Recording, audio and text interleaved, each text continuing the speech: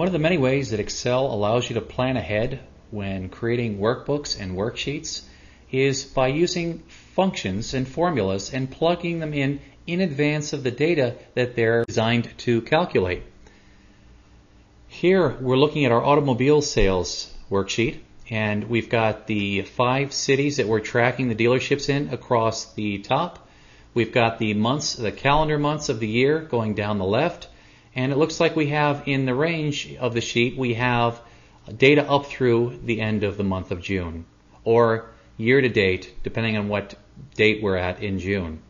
We see that the totals for each month are being calculated and presented across at the right in column H.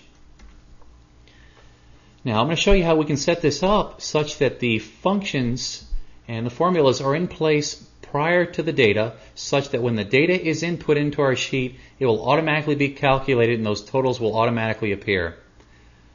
Um, additionally, we'll go ahead and add a totals column across the bottom where we're adding up the total number of vehicle or automobile sales for each individual dealership year to date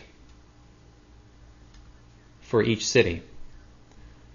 Okay, now what I'm going to do is I'm going to delete uh, all of these cells here except for the first one. So we only have the first cell in the totals column.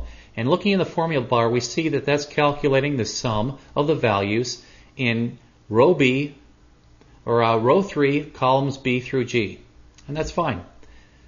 And we talked about in an earlier lesson using the auto sum icon and how to set up an simple uh, addition equation and also we talked about the manual method of typing in the equal sign followed by the word sum and then the open parenthesis and then putting in your cell references. But I'll show you a way much easier than that. We're going to use the little fill handle at the bottom right hand corner of the cell. I know that the formula is correct and I want to go ahead and copy it all the way down that row, even beyond the point of June, which is only as far as the data goes in the sheet. I'm going to go all the way down through and including December. So I'm going to move my cursor over the bottom right hand corner, that little square object there. Notice the cursor changes from a three-dimensional plus to a smaller bold plus. Right at that point, I click the left mouse button in. Holding the button in, I'm rolling the mouse downward all the way down through and including the, call, the row that includes December, and I release. Notice it will calculate and add up the numbers for each of the rows that have data, and for those that don't, it will put a zero in there. And if I click on any of those cells, I will see the corresponding formula in the formula bar. Okay, now doing it like that ahead of time and then saving the spreadsheet will keep those formulas in place such that when the data is plugged in for the remaining months, it will automatically update and calculate out on the right. Now we'll add a totals column across the bottom in a row. We'll, we'll create a row for totals as well.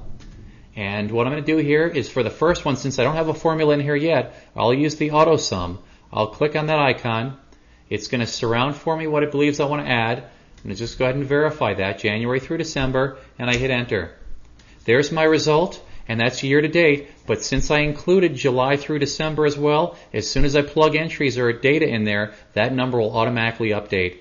And I can grab the little fill handle on that cell as well, and I can copy horizontally all the way across my different dealerships. And there I have the totals. And you can click in any of the cells, check your formula bar, and verify. And if you like, you can actually click on that argument within the formula bar, and you'll see a little border around the data contained within your, your equation, just to verify. Now let's take a look. As I add for July, let me use an easy number so we can quickly see uh, the difference here. Say we had uh, you know pretty poor month in July, 10. And as I hit my tab or my right arrow key, I'm going to see that the zero here in the column H for row number 9 is going to become 10. And the total for column B down below is going to go from 178 to 188. And here I go, tab, 178 to 188, and that has been become 10 now. So any data I add within the balance of this spreadsheet will automatically be calculated as a result of these equations having been plugged in in advance. That's one of the uh, time-saving, powerful features available to you within Excel.